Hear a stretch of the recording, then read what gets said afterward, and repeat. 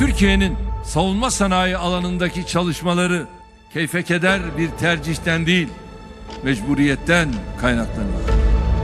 Madosya'ya doğru ilerliyoruz.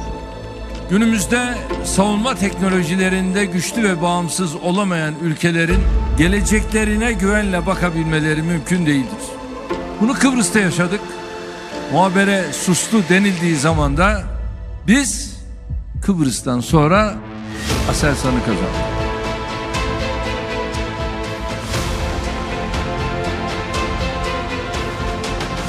Durmayacağız. Dinlenmeyeceğiz. Gece gündüz çalışacağız.